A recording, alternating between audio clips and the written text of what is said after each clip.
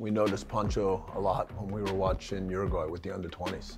Obviously, uh, we could see right away uh, the presence that Pancho had in the midfield, his intelligence.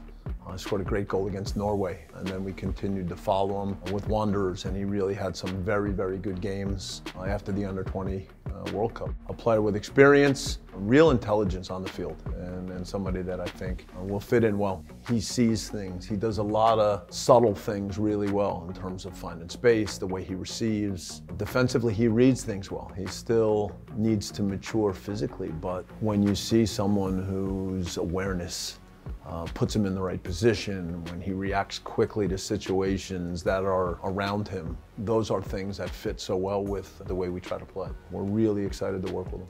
We certainly feel like midfield is an important part of the way we play, controlling the game, having uh, the ability to find the right spaces, play the right passes, defensively, the responsibilities that, that are in the midfield. And we've got to continue to build ourselves and, and to evolve. Pancho is still someone who can play deep. The kind of intelligence that he has allows him different possibilities. When you bring in young talent and, and when guys develop and play well, uh, there will be other clubs around the world that take note. So there's a lot that, that we think about, and uh, we're sure that Pancho uh, will fit right in.